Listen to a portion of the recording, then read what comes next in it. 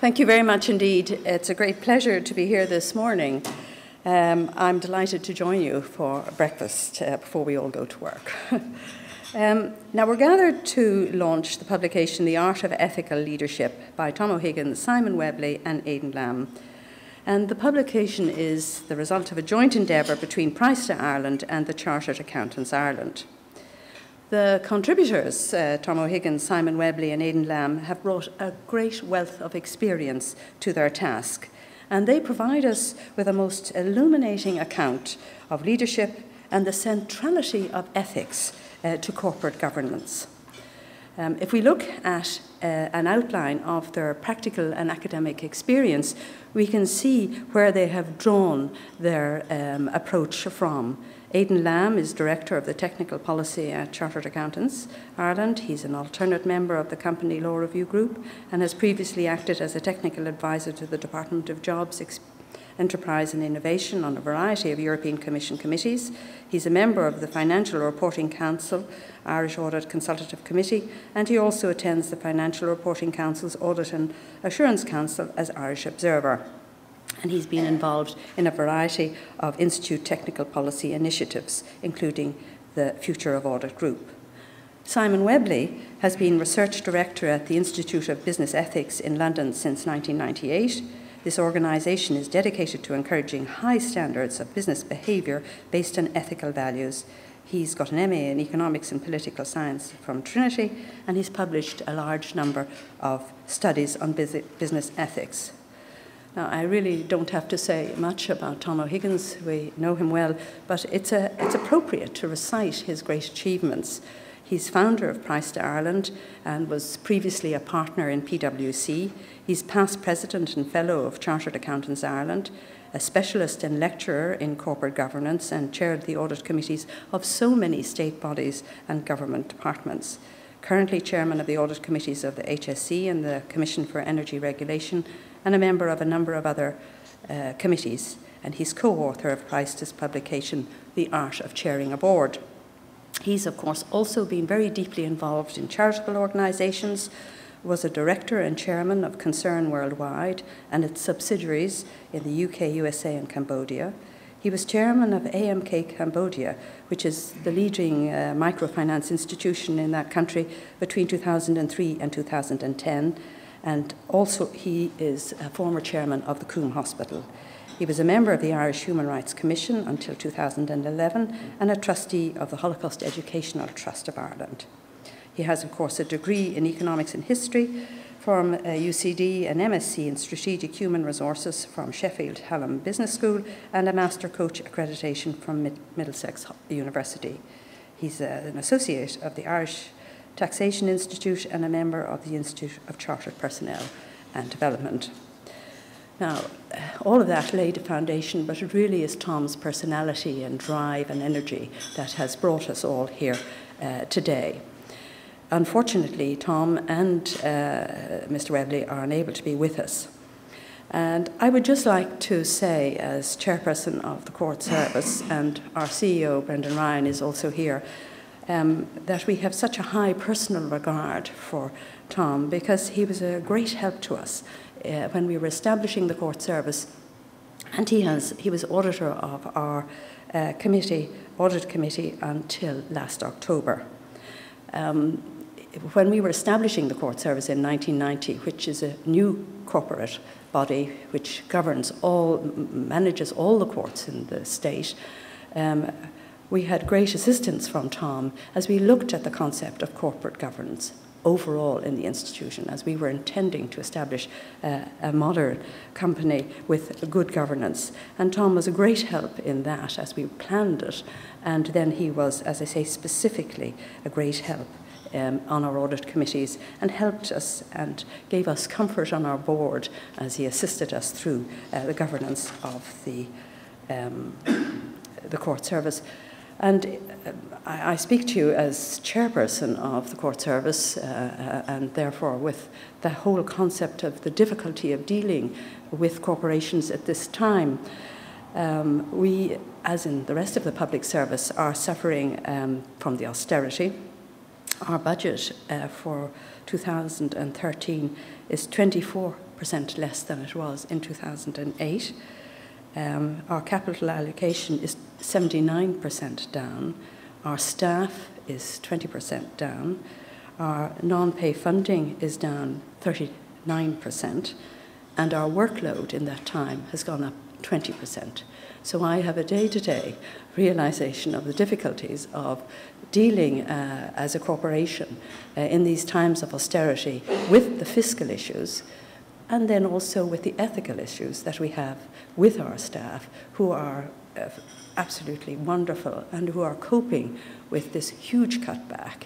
Uh, and yet, every day you will see our courts are open in spite of all these difficulties.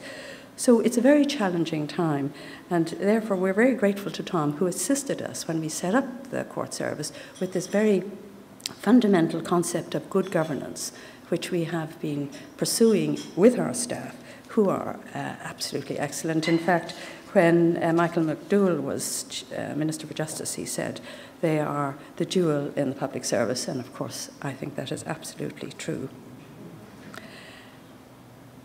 Ethics, so ethics can be something of an elusive concept.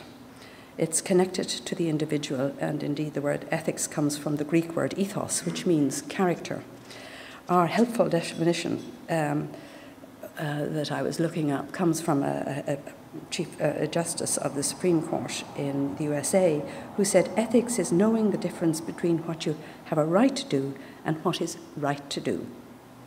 And knowing what is the right thing to do in a situation and then doing it comes from exercising self awareness, personal integrity, and of course, no small courage. Uh, they are noble characteristics and traits that we should all aspire to, and um, we see that they are connected uh, between great connection between ethics and human character.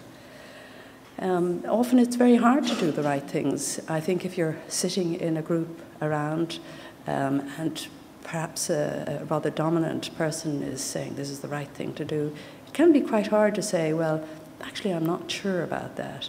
So you have to have a sense of what is the right thing to do, um, and you want to do the right thing. But then it's hard sometimes to have that little leap of courage to say, actually, CEO or manager or whoever it is, um, I wonder, is that right? Uh, Tom notes uh, ethics is about behaviour and, in the face of a dilemma, doing the right thing. Business and commerce are human enterprises which are intimately linked to human nature and character traits. Personal codes of honour, which embody respect and transparency, are not 19th century concepts. They are displayed by people in all walks of life today.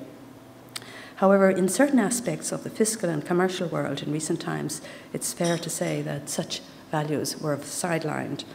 This has led to disastrous consequences for our economies, our states, and our citizens, and uh, consequences which will be with us for some time to come.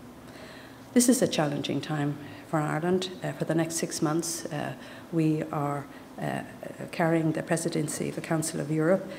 our focus is on stability, jobs, and growth, and we're using it as an opportunity at, home, at home and abroad to pro propose the the recovery of, of Ireland to inform people that, that we are on the return and um, all of us who are involved in government, small g, in all the various areas, are travelling internationally and telling the world that Ireland is recovering, we're open for business, and um, telling the tale and getting a very good response. I think really it's beginning to turn around now. So the business community has an absolutely critical role to play in the restoration of the economy in leading us out of this recession. Boards of directors hold a privileged position of trust and are relied upon primarily by the company and shareholders, but also by employees, customers, suppliers, and the public at large. And we rely on board of directors to do the right thing. Lax corporate governance and low ethical standards in boardrooms has a trickle down effect in companies. It seeps into the various levels of the organisations and can lead to risky and sharp practices. The financial crisis has uncovered this, and it's important now that we have a greater emphasis on business ethics. Banking failures and commercial scandals have, in the words of this publication, exposed a dangerous mix of hubristic executives, weak or negligent board oversight, poor governance, inadequate regulatory oversight, greed, and the absence of moral leadership. Failure to consider the consequences and impact of reckless behaviour on others and not doing the right thing has led to the destruction of businesses and livelihoods. And that trail of devastation comes into our court every day. You know, we don't talk about the cases we hear and the way we decide them, but every day in Ireland, the 140 judges um, around the country have people coming in Businesses have failed because somebody couldn't pay. Uh, businesses have failed because of contracts uh, being withdrawn. Homes are being lost, jobs are being lost, and families are disintegrating because of the stress. And it, it is a really um, a very sad tale in Ireland at the moment to see this incredible consequence of the bust in our courts every day. So this publication is very timely. The publication is divided into three parts. The first, uh, which is a survey of leading Irish, UK, and international business exec executives on their ethical approaches, as well as on their organisation's ethical codes and attitudes. And this section is the result of Aidan Lamb's great work. The respondents in the survey were very diverse, which is excellent. They come from manufacturing, retail, construction, information technology, healthcare, and 30% other. So this mix of respondents broadens the research methodology. And the survey results record a number of very positive statistics. Almost 70% of the organisations had a code of business ethics. 70% of those organisations had a code for five years or more.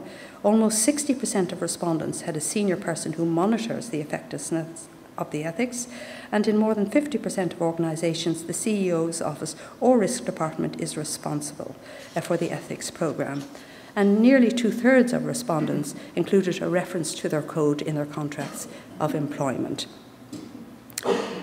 So, this publication notes that these results indicate that in Ireland and elsewhere there is a growing acknowledgement by corporate executives that a robust policy of good business behaviour based on non negotiable core values is essential for the, response, the sustainability of any business. In the second section, Tom O'Higgins provides us with a learned account of the recent literature on business ethics and ethical leadership, and he illustrates the complexity of uh, affecting ethical decisions with great mastery in simple terms. Tom uh, discusses research by Francesca uh, Gino of the Harvard Business School, who outlines three findings which show some effective practices that every manager could implement when discussing values. I thought it was a very interesting thing for ourselves as we approach these decisions and think about it. Uh, the first is setting the right example, and that, of course, is a core concept. We all know the best thing to do is set a good example and um, bring it down through the organisation. The second is finding uh, about framing ethics to highlight prevention. So, carefully crafted uh, policies, codes of ethics, are likely to in influence the ethical conduct. And thirdly, finding stresses uh, the the third finding stresses the importance of means. Managers will naturally want good end results, uh, but maybe not uh, pay attention to the means. And that, of course, is one of the reasons why the bust has come about, because the ends justify the means. So it's very important uh, to include an assessment of the means as well uh, as, as, as the end product. Uh, and there are important lessons for the for those in positions of leadership uh, when studying this aspect. The Institute of Business Ethics provides thus a useful test to business leaders for ethical decision making. When faced with a decision, uh, it poses the following questions for us to put to ourselves Am I happy to make my decision public, especially to the people affected by it? Have I fully considered the harmful effects of my decision and how to, the, how to avoid them?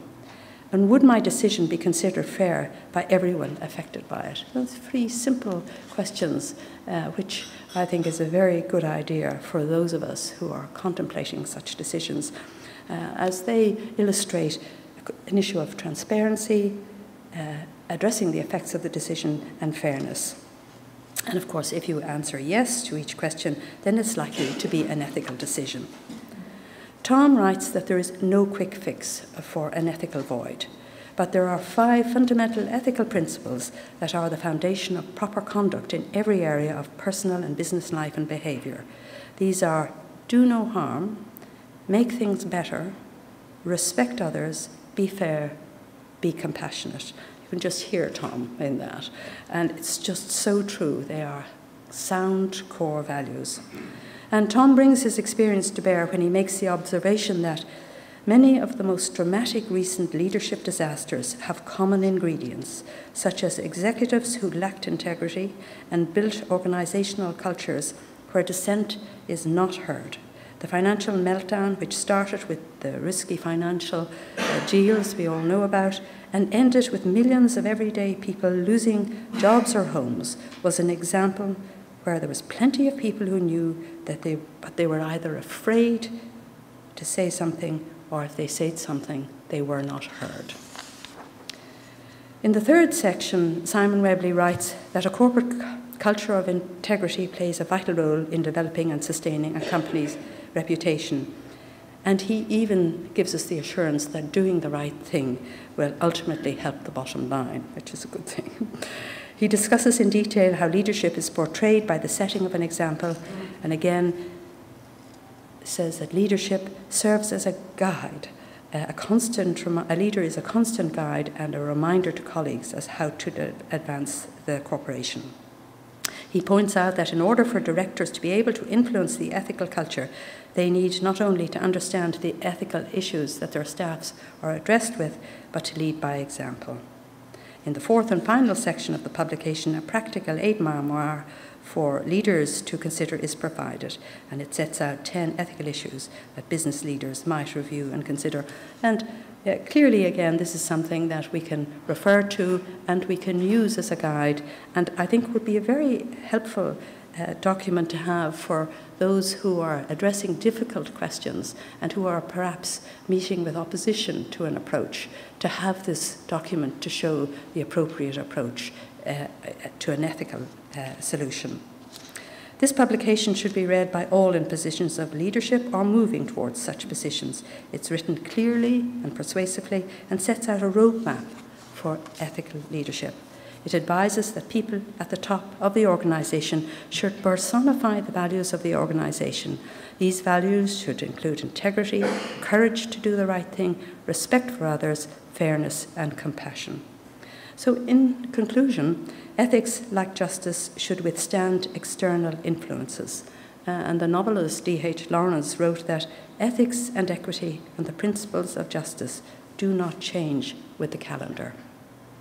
And the truth is, they are dependent on persons and their individual integrity and their courage. The harsh lessons learnt by us all, including the business sector in recent years, are testament to this essential truth. So, this publication is a most impressive work and will stand as a constant reminder of the importance of ethics in Irish business and leadership. I congratulate all of those who were involved in this project Praesta, Chartered Accountants Ireland, the respondents to the survey, contributors Tom O'Higgins, Simon Webley, and Aidan Lamb, and it's my great pleasure to officially launch the Art of Ethical Leadership. Thank you very much indeed.